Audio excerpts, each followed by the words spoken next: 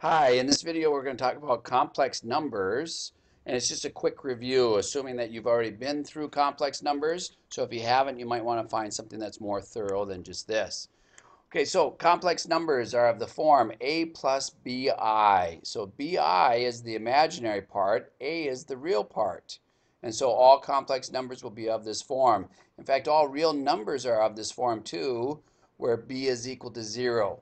So a real number is a complex numbers. Uh, if you look at this little Venn diagram here, what's included and what's not, these are all the real numbers down here. They're included in the set of all complex. The imaginary numbers are the ones that just have the i with them. And then if you are complex, then you're 1 plus something with i in it. And then these are algebraic ones, negative 3 plus minus 2i and so on. Okay, so these are the real numbers. They are part of the set of the complex numbers where b is equal to 0. You should know this setup and have seen this before. Now, if we want to move on to some examples, well, first of all, what is i? When we look at what i is, i is equal to the square root of negative 1. So if I look at this and I take i to the fifth, well, let's look at some patterns here first. So if I have i squared, i squared is equal to negative 1, i cubed is equal to what? Negative i. i to the fourth, negative 1 times negative 1 gives me i, uh, i squared times i squared, which would just be 1. And if I keep on going on in this pattern, now it's just going to be 1 times i. So I'm back at i. So this in reduced form would be simply just i. And if you look, I have a pattern of 4. And so I'm going to go for a pattern of 4 again. So this would be negative 1. And then i to the 7th would be negative i. And i to the 8th would be 1. And so on. These are all groups of 4. So if you can figure out what the remainder is when you divide this exponent divided by 4, then you're going to be in business. So for instance, 29 divided by 4 is equal to uh, is equal to 7 because 4 goes into 28 seven times, but your remainder is 1. So what that means then is that I've got a group of 4, group of 4, group of 4, so on and so on, seven times. And then I'm back at the first spot again. So this is also equal to i. So if you can figure out how far past a multiple of 4 this is, then you should be able to figure out what it equates to in this basic form down here. So if I look at 47, i to the 47th, if I try to take 47 divided by 4, that's 44, I think, that goes in there. So I got 11, remainder 3. So 1, 2, 3. So equivalent would be i cubed, which is negative i. Okay, so you should be able to do that. Now, getting into complex numbers, if we're adding, we add the real parts with the real parts and the imaginary parts with the imaginary parts. So these two go together and these two go together. So this would be negative 4 plus 8i. So that's adding, like adding like terms. If we want to multiply, however, then we put the real times the real and the imaginary times the imaginary and see what we get out. So the real times the real would give me negative 6, and then this would be i squared.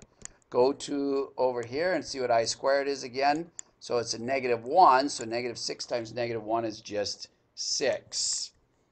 Uh, if we distribute this one, number 5, I'm sorry if I'm going fast, but this is quick review. So we get 8 and then minus 12i.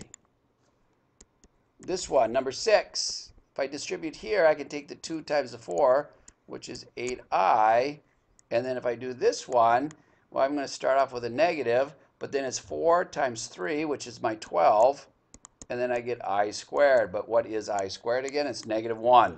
So this would be 8i plus 12. Negative, negative makes positive, and if I want to put this in complex form, I'd call it 12 plus 8i. Uh, if we multiply this, this is a binomial times binomial in some respects, so we use FOIL. So first times the first. This would be 6. Then the outsides would be plus 8i, and then minus 9i. And then here I'm going to get minus 12i squared, which we just saw. So what we should do is convert this over to plus 12i. I'm uh, sorry, plus 12. So this would be plus 12, and then I get plus 8i minus 9i. So all in 18, and then that would be minus i. My last example, maybe we want to pause this, pause this and try to do this. But what happens when we take 2 plus 3i and multiply by 2 minus 3i? Well, if I do this, I get 4. I'm doing FOIL, and then this would be minus 6i, and then plus 6i. Oh, look at that. And then this one would be minus 9i squared. These two middle terms will drop out, and this one becomes 4 plus 9, and 4 plus 9 is 13. So if I want to generalize this case, well, what happened? Well, the two middle terms dropped out. I ended up with the first term squared, and I ended up with the last term squared, and it was minus both of those. But when I do minus an i squared, it becomes positive.